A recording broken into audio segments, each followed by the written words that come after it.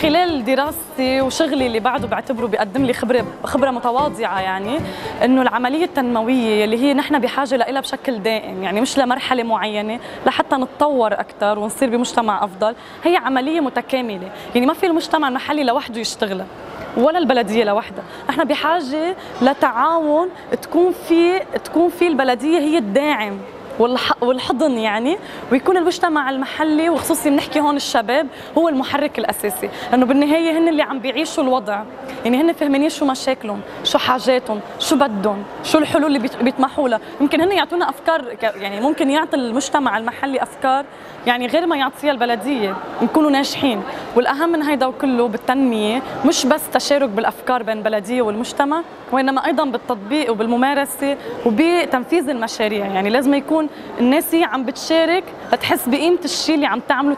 تتحافظ عليه لأنه أهم شيء تحافظي على الشيء آه، إذا بدي أقول صعوبات آه، بطرابلس يمكن نحن عندنا آه، بعد المجتمع المدني مش متبلور كثير لأنه موضوع حتى الشباب عندنا نسبة شباب مرتفعة وجمعيات كثير بس عم بيكون مشاركتهم مش بصنع القرار عم بيكون مشاركتهم بتنفيذ القرار وربما بالتنشئة اللي بنربى عليها بوضع بلبنان نربى على التبعية أكثر ما نربى على إنه نحن نطلق أفكار فبتلاقي مش كثير في تنسيق في تجارب ناجحة الحمد لله يعني. بس ربما كمان من ناحية ثانية لأنه التشارك مع البلدية بين المجتمع المحلي بحاجة لعنصر تطوع وهلأ الشباب يلي بيكونوا عم بيدرس وبده يشتغل وما عنده وقت يعني يتطوع وثقافة التطوع مش موجودة وممكن من ناحية تانية يلاقي إنه عندهم ثقافة تطوع وحابين بس البلدية مش متعاونة ربما عندهم فكر معين لأنه أغلبية اللي بيستلموا البلدية بيكونوا كبار بالعمر.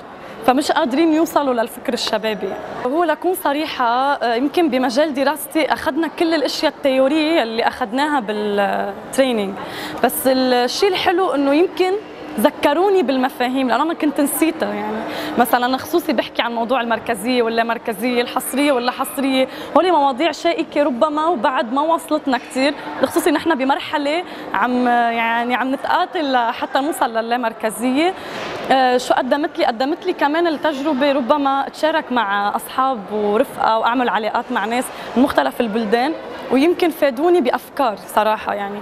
في كل أكثر من بلد تعرفت عليهم عندهم أفكار ومشاريع عملوها ببلدهم وناجحة فربما تكون يعني كمان تجارب نقدر نطبقها بطرابلس لأنه كمان على حسب البيئة اللي فيها فكانت العلاقات المعلومات كانت عم تنعطى بطريقة كثير آه، معلومات غنية. وطبعا التجارب اللي مع غير جنسيات مهمة كثير يعني. أكثر تجربة هو في كثير لازم أفكر يعني. في كثير تجارب كانت حلوة.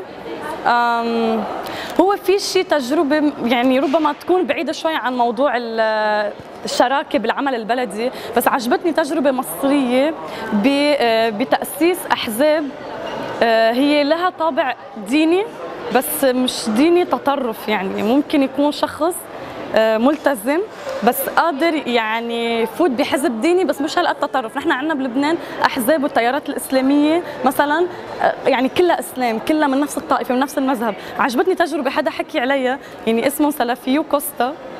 والغريب إنه فيها من كل الطوائف وبيشتغلوا سوا. فكتير حبيت. من تجارب بين الشباب والبلدية حبيت مشروع بلدية الظل يلي هي لازم ترجع تطبق عنا بطرابلس هي كانت مطبقة بس آه، يعني دخلت السياسة عليها فممكن نرجع نعيدها بس بإطار مختلف. بلدية الظل هي عبارة عن إنشاء مجلس بلدي شبابي يكون بيلعب دور الرقابة على البلدية الحقيقية اللي هي من الكبار والسلطة المحلية وبنفس الوقت شريك بصنع القرار وبالقبول على المشاريع أو رفضها.